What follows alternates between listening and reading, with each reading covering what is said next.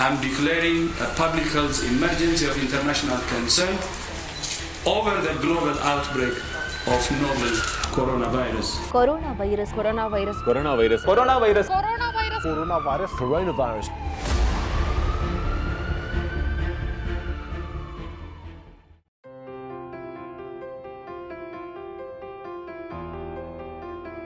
Assalamu alaikum and very good morning to all of you. My name is Mohamed Saleem from the course of Science, Technology and Mankind, University Technology Malaysia, Kuala Lumpur. Today we are going to discuss some interesting topic what we have gone through in the last one and a half years, uh, which is COVID-19. As we all know, last year on March 2020, WHO World Health Organization declaring an outbreak of deadliest virus called COVID-19. The world experiencing a pandemic situation, millions of jobs and uh, lives being sacrificed. The economy of the world being crashed. We struggle and strive till now. The war wasn't finished yet, but Alhamdulillah, this year is a year for the hope, the year of vaccination. Yes, this year we are experiencing the largest vaccination campaign in human history. coronavirus vaccine. coronavirus vaccine. COVID 19 vaccine. 23 elderly people have died in days following the Pfizer vaccine jab in Norway. When we talk about COVID-19 vaccination, hundred of perspective and question we can discuss about it. But related to our cause today, we will discuss two perspective related to COVID-19 vaccine. First place in the perspective of Islam or Sharia towards COVID-19 vaccine. Second, the perspective of science and technology. First, we will discuss the perspective of Islam when we talk about Sharia. A lot of questions related to vaccine can be arise. For example, is it uh, halal?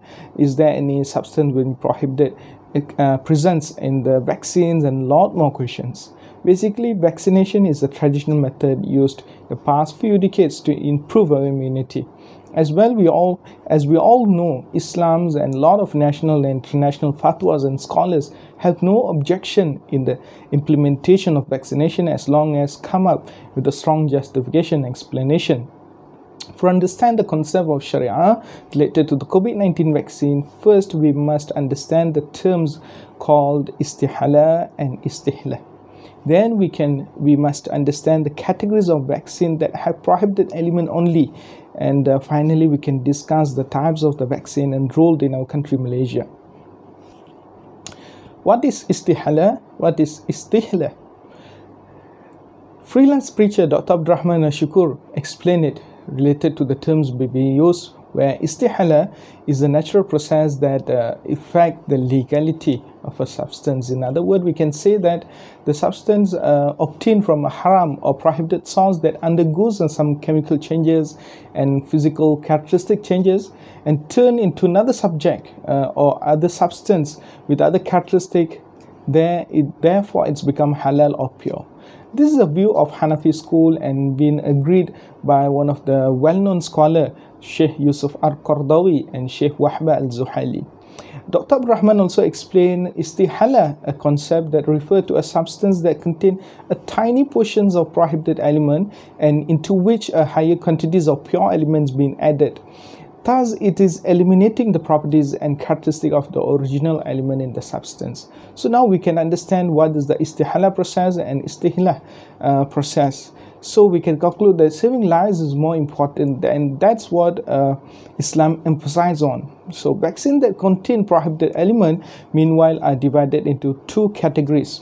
For so for the first place we should discuss the first category. If the category is considered if there is an another alternative that is better and purer and derived from the trusted source then the vaccine that contain prohibited element cannot be used this is a basic of fatwas on vaccine. Second category is if there is no alternative and there is an emergency prevails, then the vaccine with the prohibited element or haram element is being allowed to order to save the lives and keeping with the objective of Sharia. In other words, all the fatwas come out with the strong justification and Islam also emphasize on saving lives is more important.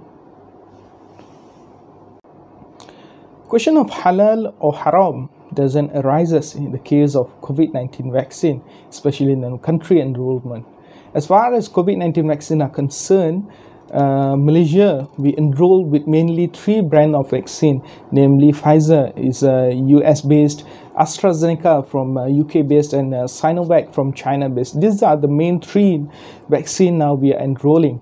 Existing from the existing information that shows that none of the vaccine contain any prohibited elements so far. For example like porcine or bovine ingredient. Hence the question whether the vaccines are halal or not doesn't arise at all. Even on march uh, even on december 2020 the muzakara committee of national council for islamic affairs or mki agreed that the use of COVID 19 vaccine is compulsory even for certain groups that identify the government and permissible for others. That means the National Council of Islamic Affairs agreed that the vaccine is permissible to the Muslims and also, of course, for the citizens of Malaysians. Hence, every citizen and Muslim in the country need to have no worries about the allegation that the COVID-19 vaccine have any prohibited elements okay this is a time for us to play our role to end this war as soon as possible. The next part we will discuss about science and tech related to the covid-19 vaccine. Thank you so much for watching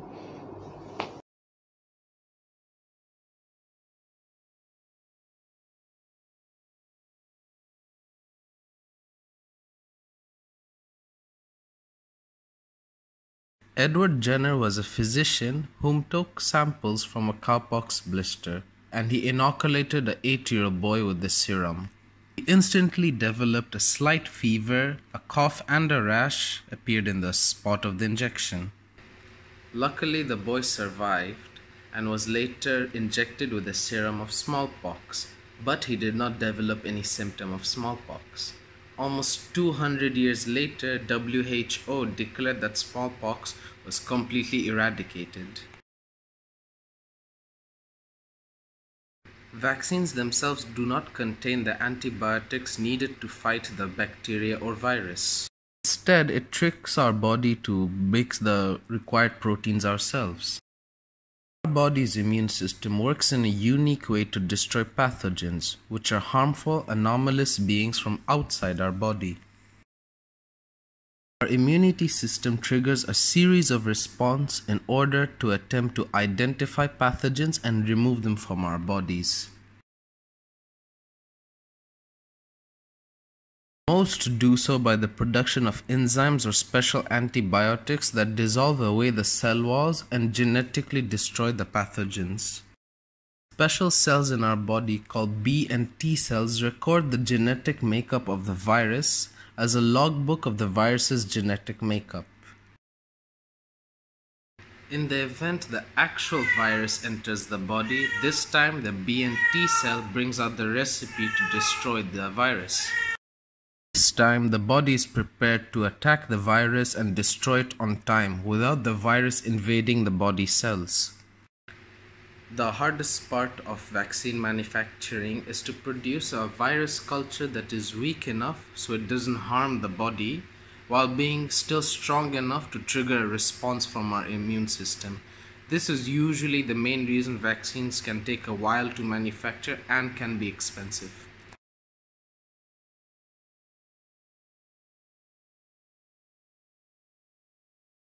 This vaccine contains the pathogens themselves but in a weakened or inactive state. These viruses when inoculated into the body can cause a triggered response by the body and since they are weakened they cannot develop into the full disease. Since LAVs still contain the virus in some form or another, it can be quite unpredictable at times and there have been rare cases where the vaccine culture develops into the full virus and has caused symptoms. LAVs are not generally recommended for pregnant women and people with already weakened immune systems such as very old or young people. Example of such vaccine include yellow fever, cowpox, measles, mumps and even tuberculosis. Vaccine is a bit safer as it contains dead or destroyed parts of the virus or bacteria. This option is usually meant for elderly or severely weak people with compromised immune system. The virus is destroyed through chemical means either by physically using heat or radiation. Examples include hepatitis A, rabies, and polio. Small part of the virus known as an antigen is extracted and produced in a culture. By isolating only the needed proteins which help the body identify the pathogen, the body can effectively prepare for the actual virus without developing any side effects. Another example of subunit vaccine is mRNA vaccine or messenger RNA vaccine. Is a protein molecule which promotes the production of the virus itself. When injected into the body, our cells itself produce the virus, but in disparities in small parts, which means the virus never fully develops, and in the end, we never actually form the symptoms of the virus. Eventually, our immune cells identify these foreign proteins and eliminates them. This kind of vaccine is probably the newest in the market, and a lot remains to be researched on them. However, a very common new vaccine that came out is the Pfizer vaccine for corona.